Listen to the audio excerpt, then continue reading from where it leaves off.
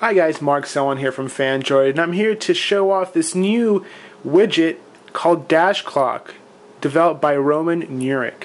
Now, some of the cool things about this uh, clock widget, it's not your average clock widget. First of all, it's gorgeous as is using Google's very sleek design protocols, and it was actually developed by a Google engineer.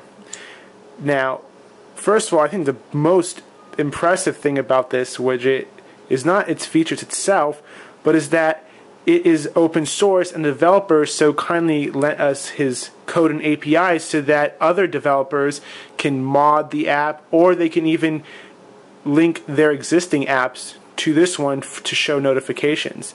So let's go ahead and dive in and check out what this has to offer for us right out of the box.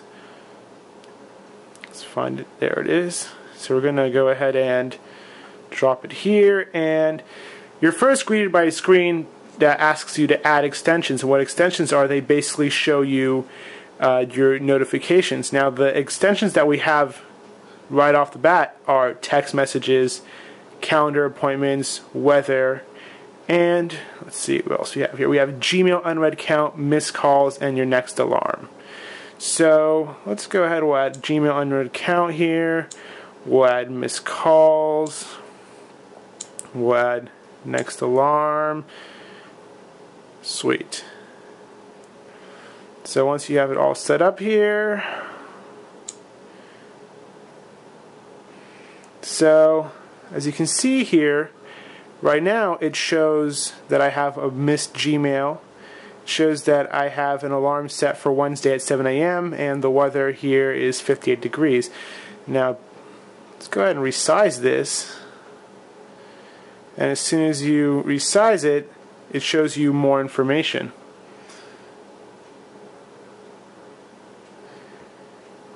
And let's go ahead and take this one step further. I think part of the beauty of this is that it's meant to be used as a Android 4.2 lock screen widget. So let's go ahead and add one here. And please note that this app is only available for Android 4.2. Let's go ahead and add it here. We'll apply the same extensions. And now you're greeted by the same widget, but now it's on your lock screen. Now, this is the kind of lock screen widget that you'd want to make your default lock screen. So let's go ahead and do that. So right now I have the regular analog as my default. Let's get rid of that one so we can just come over here, hold this guy, and just flip him away. So now, whenever I lock and turn on the phone, I get to see the information that's important to me, and I can also swipe down to show me uh, more detailed information. So that's a quick look at Dash Clock Widget. It is completely free. Go ahead and download it in the Android market. Thanks for watching.